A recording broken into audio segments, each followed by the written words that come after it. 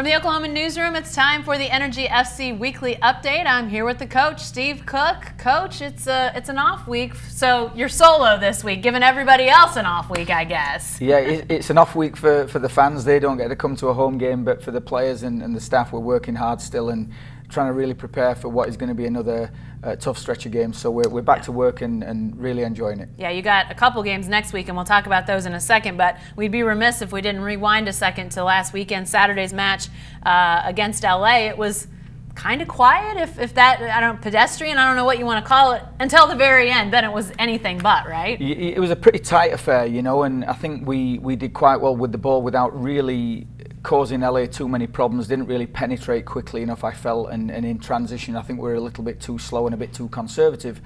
But then uh, th the same would go for LA. We, we held them to very few opportunities, just shots from distance and a couple of balls into the box. But then we caught a little spark with 10 or 15 minutes to go and uh, managed to push uh, the game forwards a little bit. We got a great deal of territory and mm fortunate enough we got a goal from a set piece. Uh, substitute Christian Volesky came on from a, a great delivery again by Philip Rasmussen. Yeah, and in the 90th minute, you get that game winner. So uh, came there at the very end uh, and Third straight match that Philip has had an assist on a corner kick, and each of those three goals were game winners. If you get in that position, you got to feel pretty good about things, it seems. Yeah, Philip's been doing really well, not only uh, returning from his ACL injury, which was a, a long time out, but he's, he's, really committed himself in training and he's worked extremely hard every day with his fitness and his, his general health, as well as you know his mentality. He's come into the group and done really well to uh, deliver those set pieces the way he has done the last few weeks. And not only that, but players be committed enough inside the penalty area to get their head on things is, is big for us. And I think anytime you get a 90th minute winner, you can see there the smiles on people's faces. it means uh, it's not just a regular goal, it's a big time goal. There were only 13 goals in franchise history in the 90th minute or later, but only one of those was a game winner. So to get that at that point,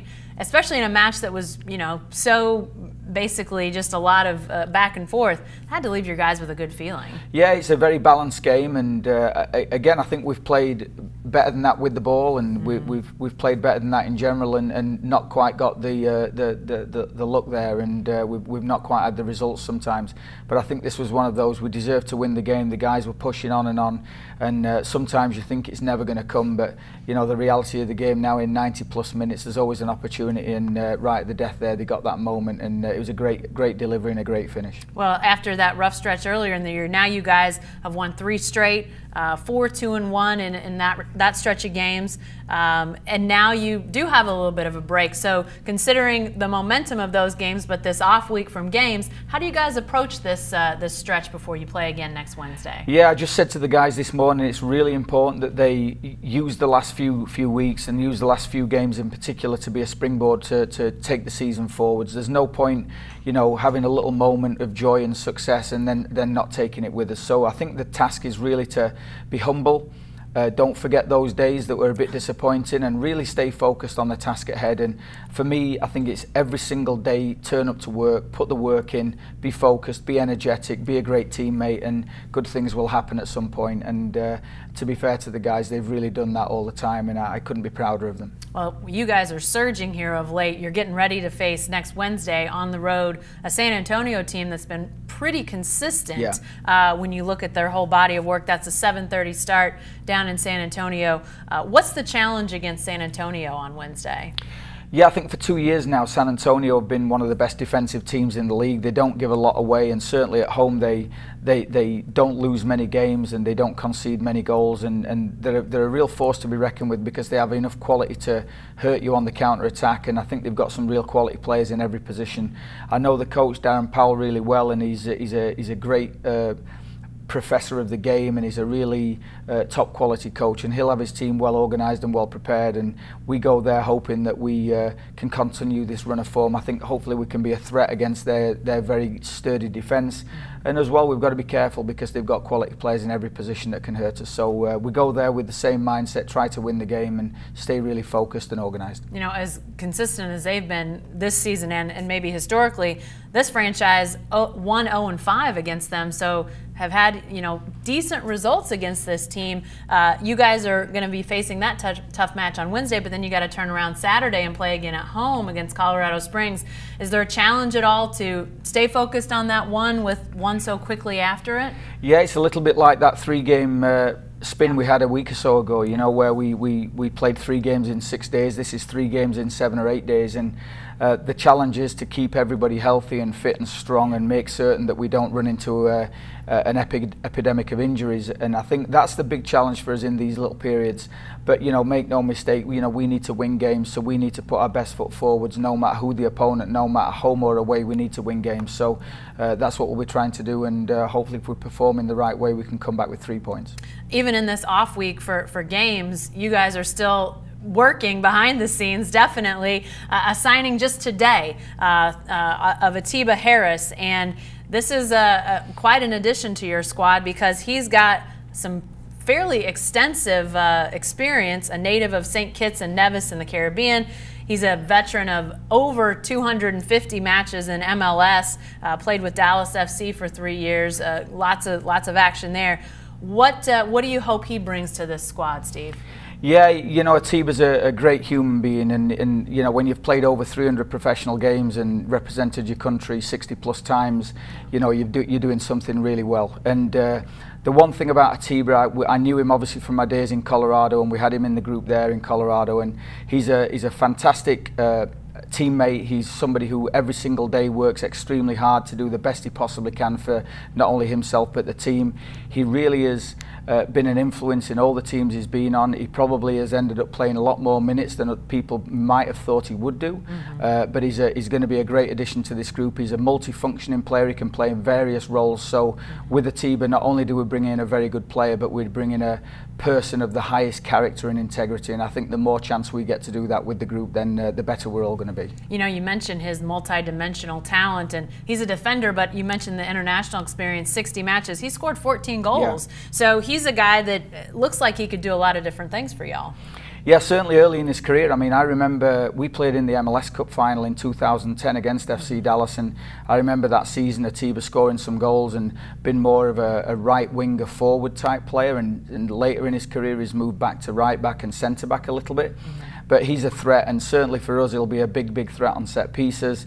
It'll be a, it'll be an opportunity for us to defend set pieces as well very well. And he's just a really good all-round professional player, you know. So I have no doubt in my mind that he could play virtually anywhere on the field. We probably won't put him in as goalkeeper, but we'll play him everywhere and anywhere.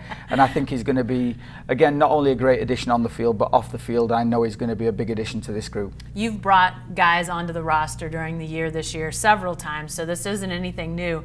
But how do you feel like he'll, how quickly do you feel like he'll fold into things?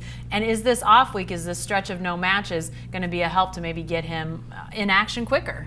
Yeah, you know, let's not forget he spent quite a lot of years in Dallas, just a couple of hours down the street there, you know. So I think he'll uh, know about the climate here, he'll know about the conditions he comes into. He's going to bring his family with him. He's got a wonderful young family, and uh, they're, they're going to be coming in this next week to, to join the group. And I don't think, I don't have any hesitation in, in saying that Atiba's going to be a, great fit and he'll find his way and find his feet pretty quickly. From us, this, this next week is going to be a challenge. We have games, but we do need to acclimate him pretty quickly mm-hmm. um, into the group. But again, we have many, many players now who can play in these roles. So uh, over the course of the next couple of weeks, it, whether Atiba's with us or not, it, you know, I have every faith in the players to come out and put some uh, good results together. Lastly, before we go, we'd be remiss if we didn't talk a little World Cup because we're hitting the end of the group stage, about ready to start the knockout stage. We've seen some teams advance surprisingly. We've seen some teams just they're going home surprisingly. We'll start with the fact that your favorite and a lot of people's favorite not going to be playing in the knockout stage. Germany is out. Yeah, I mean, I, I made the worst prediction of all time in uh, saying that Germany were going to win the whole thing. I, I don't think uh, I'm on my own in that prediction. I don't think so either. Uh, and, and, if you can find the person who said they'd be knocked out in the group stage, I, I want to meet them and go down the casino with them. But um, it is a shock that Germany are out. But I think the two teams in the group that did advance, uh, Mexico have played some wonderful soccer in that group, and Sweden, I think, uh, have been very consistent consistent as they always are. But I think this World Cup is not only a World Cup where we can hopefully enjoy some new teams maybe yeah. coming to rise, and maybe we'll get a different winner than has ever won it before, which will be exciting and interesting. Uh, but I think literally at this point, anybody uh, could win the whole thing. And uh, obviously, my, my have a, a, soft spot for England, so I hope that they come through. And yeah. but I've, I've been disappointed too many times by England, so I, I'm, I'm not. I'm not going to put my money on them in case that they do a Germany and get knocked out. Well, Germany hasn't. The first time, the last time they hadn't advanced out of the group stage was 1938. Wow. So a lot of people were with you on it, at least expecting them to see see them move on.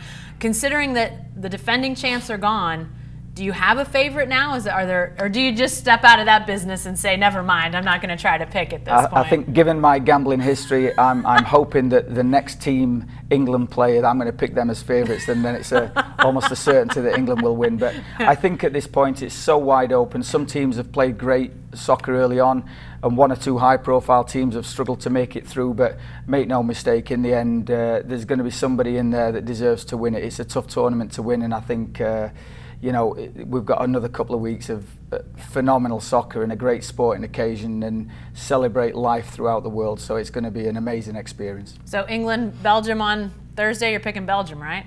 Uh, well, uh, I'm actually looking at the bracket now and thinking if England finish in second place on paper, it looks a bit easier. So tomorrow, I'm not too worried who wins that game. Yeah. Uh, but then obviously, then it gets uh, a little bit scary after that point. Yeah. But uh, you know, it, I'm not going to pick a favourite from here on out because I've been uh, disappointed in my selection so far. but fingers crossed for England. All right, all right. Knockout stage starts on Saturday. A couple more matches on Thursday in the uh, round, in the uh, group round. So uh, lots of fun left to go. And again, next Wednesday night, Energy heads to San Antonio, 7:30 start there, and then Saturday back at home against Colorado Springs, also a 7:30 start. Go to energyfc.com for all the details and ticket information. And be sure to stay with the best coverage team anywhere at newsok.com and every day in the Oklahoman.